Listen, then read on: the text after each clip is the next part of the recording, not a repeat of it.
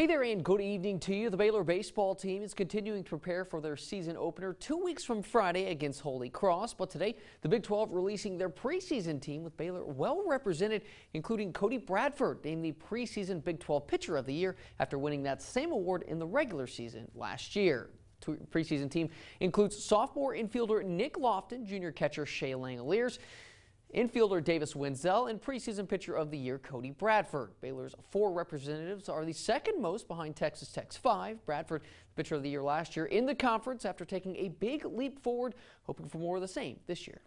I don't know if I expected um, that jump last year. I think it just came on and uh, hopefully history will repeat itself. Um, but we worked hard in the off season. So last year uh, I took a big jump in physical development. I gained about 10 to 12 pounds physically, which was big for me. And I did that again this year. So hopefully the results will show. But the Big 12 television schedule also released today. The Bears have the have their Friday, April 5th contest against Texas televised on ESPNU, while their Friday, April 19th contest at Texas Tech will be televised nationally on Fox Sports 1.